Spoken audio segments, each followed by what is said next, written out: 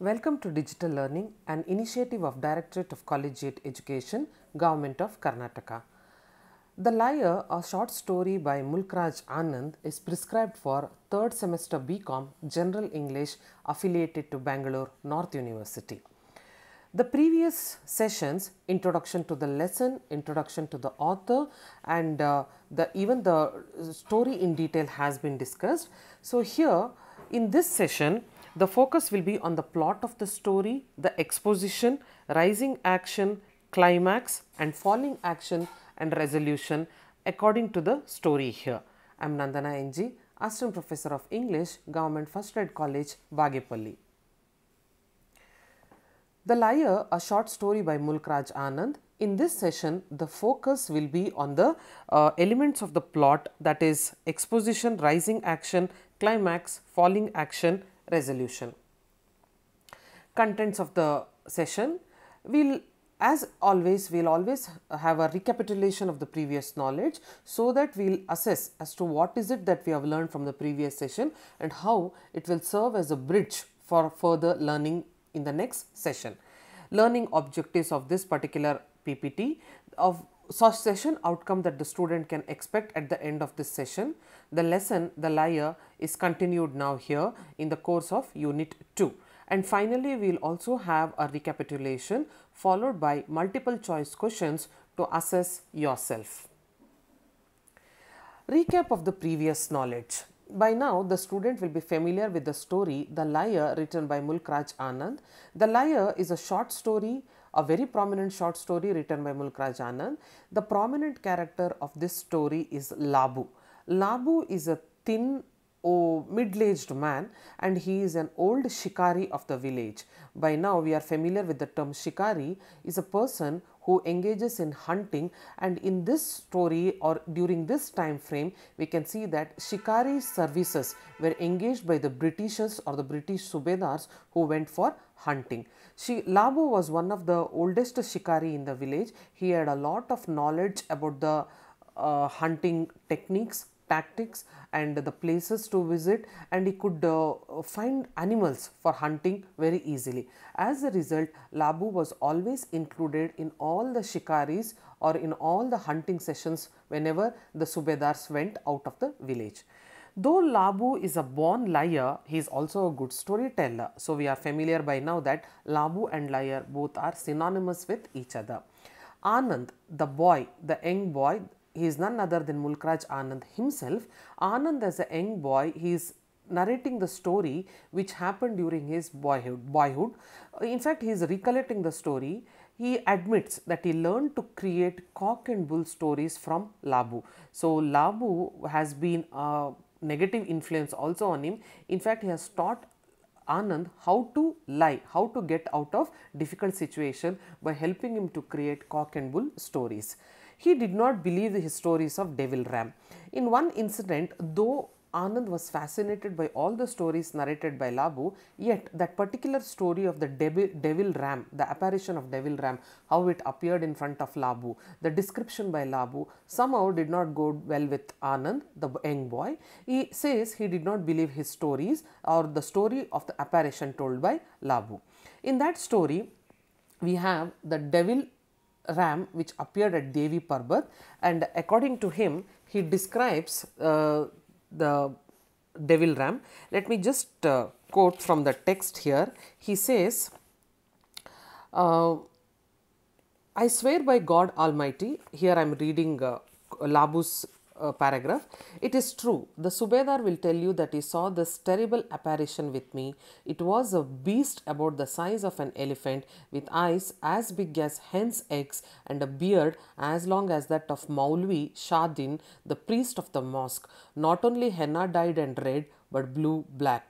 It had huge ears as big as an elephant's, which did not flap, however, but pricked up like the ears of the Subedars. It had a nose like that of the wife of the missionary Sahib, and it had square jaws which showed teeth almost as big as the chunks of marble which lie outside the temple, as it laughed at the Subedar. It appeared unexpectedly near the peak of Devi Parbat. The Subedar and I had ascended, ascended about 12,000 feet up the mountain in search of game when suddenly out of the spirit world that always waits about us in the living room, there was the clattering of stones and boulders, the whistling of sharp winds, the gurgling of thunder, and a huge crack on the side of the mountain. Then an enormous figure seemed to rise. From a distance, it seemed to both of us like a dark patch, and we thought it was an urial and began to stalk towards it.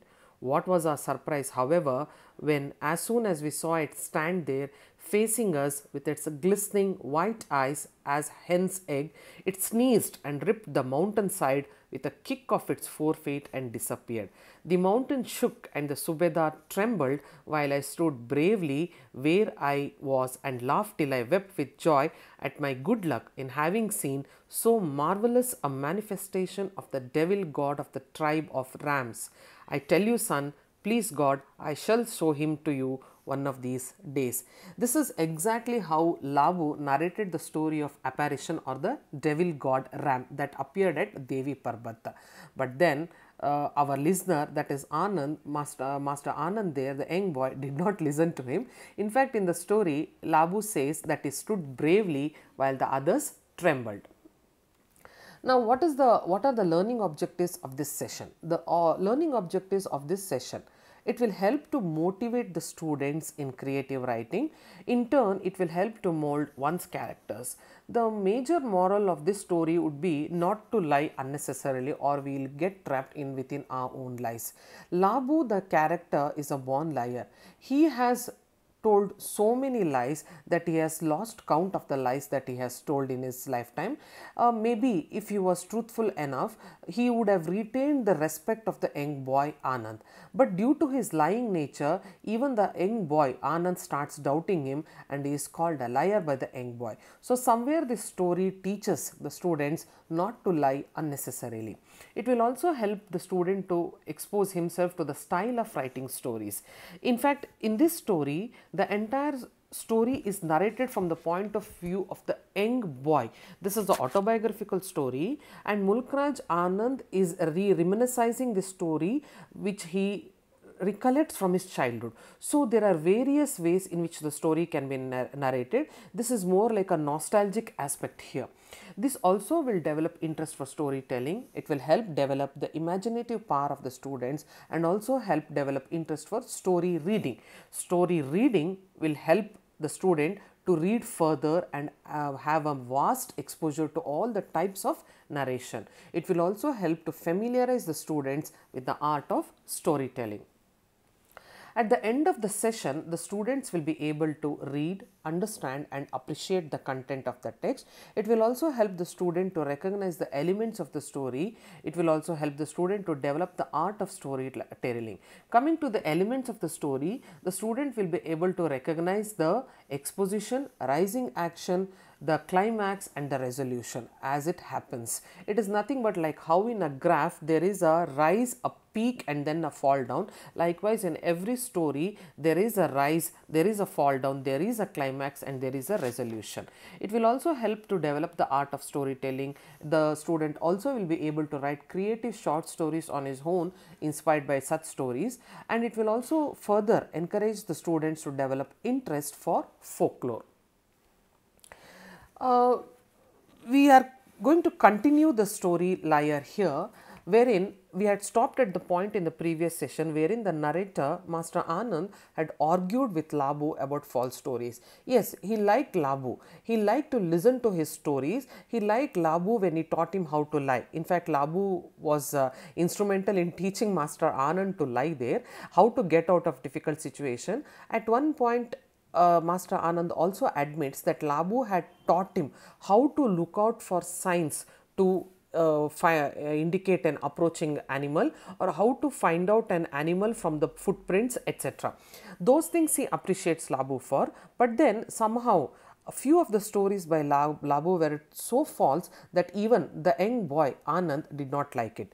So, when uh, uh after the end of the story Devil Ram after the narration of the Devil Ram story by Labu, uh, when the boy says that he did not believe him, Labu was hurt. Somewhere maybe uh, he reacted as an adult. Maybe he felt that how is it that the entire village listens to my stories, they don't doubt me and this young boy is doubting me. Somehow that hurt Labu, he frowned and he de denied or he declined to tell more stories. He was hurt that the young boy who was uh, in awe of him, who used to admire him, did not trust him anymore. And that hurt his ego and he frowned and he declined to tell more stories. And uh, as they both stopped talking, there was a gap in the relationship. There was a sort of a break in the relationship due to this friction. In the meanwhile, Labu went to Nepal with Kuldeep Singh for shikar. So this time Kuldeep Singh, the Subedar, in a had accompanied or he had requested or in fact more eh, more like instructed Labu to accompany him for shikar to Nepal. There was a long gap more than 6 months elapsed and the young boy did not see Labu. In the meanwhile for Master Anand all his anger at Labu seemed to have disappeared with the passing of time and it uh, he, in fact his anxiety started to increase because he observed that in the absence of Labu village people talked about his incapability to hunt. Now the young boy was confused. How is it that when Labu was there in the village and whenever he was uh, to be seen, all the villagers respected him, they listened to his stories. But now that he is not to be seen in the village and in his absence, the village people talked about his incapability to hunt. It was as if he was a liar and all that Labu told was a lie and he could not even do the basics of hunting. They declared, they as in the village people declared him as a boaster and a liar. Boaster is a person who exaggerates things and a liar is a person who lies. Yes, through the course of the story, we are familiar that uh, Bo, Labu does both. He boasts, in fact, what maybe a part of it might have happened, but he exaggerates it to such a great extent that he is seen as a vain boaster and also a terrific liar. But after a gap of more than six months, throughout the course you can see that the village people had been very negative about Labu. But somewhere listening to all this negative uh, uh, feedback of the villagers, the young boy was somewhere hurt. He was, he was fuming. Somewhere he wanted to give it back to Labu by asking, See, you were angry with me when I did not listen to your story, but then the entire village doesn't believe you. How can you justify this? He wanted to hurt him back for hurting him. But when Labu came back after a long back, he seemed ill and he limped. When uh, the young boy saw his hero, Labu, ill and limping, somewhere all the anger of the young boy vanished and he was more curious as to what happened to Labu. The narrator was waiting eagerly for his return. After his return, Labu was limping and he looked sick and somewhere the young boy was very hurt when he saw his uh, demigod or his hero uh, looking uh, so sad. The narrator wanted to know more about the incompetencies of Labu, but then look at the innocence of the boy. He thought he is going to uh, going to Labu. He will go up to him and will ask him, "See, this is how the villagers are talking about you. What do you have to say about that?" He never knew when he saw Labu all those things he would forget and he would be mesmerized by his false stories once again. But then after some time, the boy thought, let me go and speak to him. So, when he went in search of him, he saw him, but then there seems to be a change in his character. Labu seems to be very quiet since his return and he was mostly confined to his hut and he walked with a limp. Something had happened and the boy was very curious. The narrator that is Master Anand forgot his misunderstanding. He forgot as to why he was angry with Labu. Now the curiosity, the curiosity aspect was more. He now wanted to know as to what happened to Labu. The narrator had developed a kinship with him. Yes, uh, this kinship was based on many years of interaction and the young boy had more of affection for Labu than he realized and uh, all his anger uh, evaporated and now he was more interested in finding out as to what happened to him. Children are like that their anger never stays for a long time. So the narrator approached him at his old hut. So the narrator went in search of him and he approached him at his old hut where Labu was lying. And one thing we have to appreciate here when the young boy went to the hut to speak to Labu, Labu did not hold any grievance against the young boy either. He too spoke to him in the usual manner as if nothing had happened. This is something to be appreciated. As an adult, he could have reproached the boy saying that you did not believe me when I told you the story. Now, why have you come back? As the young boy innocently approached him, Labu also spoke to him without holding any grudge against the boy for not trusting him. But then Labu was ready to create a new story, forgetting their past quarrels. Let us try to recapitulate what is it that we have learned through the course of this story. The narrator had argued with Labu about false stories. We know which story in particular, in the story of the devil ram. When uh, Labu had narrated the story of the devil ram, the boy was not taken in. In fact, he said that it was false and that had hurt the sentiments of Labu and he had frowned. And as he was hurt by the young boy not believing him, he had denied to tell more stories.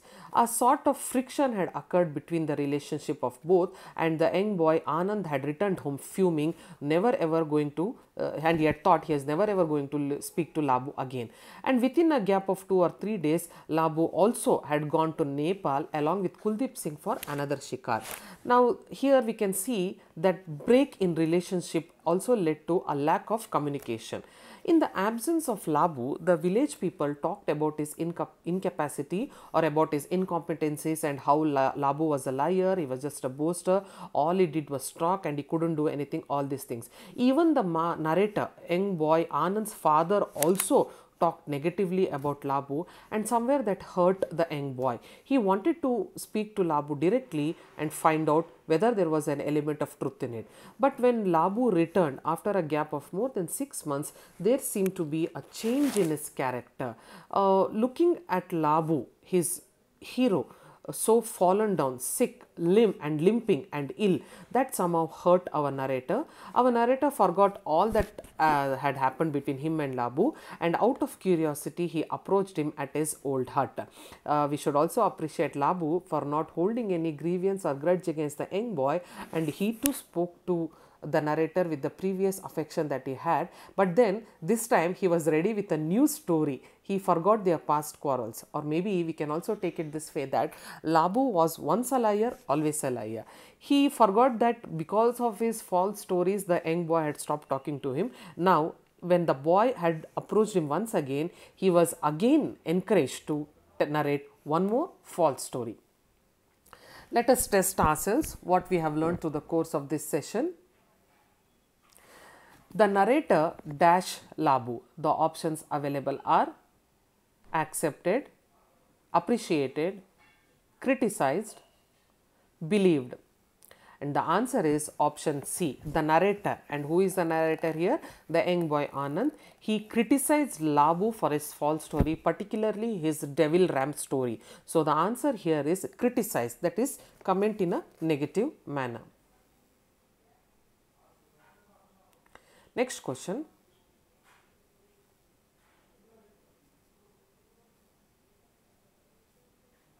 Where did Labu go?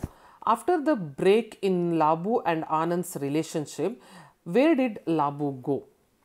Options are to learn more parts, to on a world tour, in search of Devil Ram or hunting trip to Nepal? So, the answer is option D hunting trip to Nepal. Labu went with Kuldeep Singh on a hunting trip to Nepal. Who is Kuldeep Singh? The options are he son of Subedar, a foreigner, devil hunter and a storyteller. The answer is Kuldeep Singh was the son of Subedar Dilip Singh. Next question villagers commented upon Labu as dash, knowledgeable, incompetent, great hunter of the village or man with pass. In fact, in Labu's absence, the villagers commented or criticized upon Labu as option B, incompetent. Incompetent means somebody who does not, do not, does not have the competency or who is not competent enough to do things. So, here in this context, the answer is villagers commented Labu as incompetent. The last question How was Labu after coming back from the trip? Or how did Labu look after coming back from the trip? Grim and painful, energetic, enthusiastic, or joyful? When uh, the young narrator Anand goes to visit Labu after he came back from the trip, How did Labu appear? He appeared, the option A is the answer here, grim and painful. So, the sources and references used for this session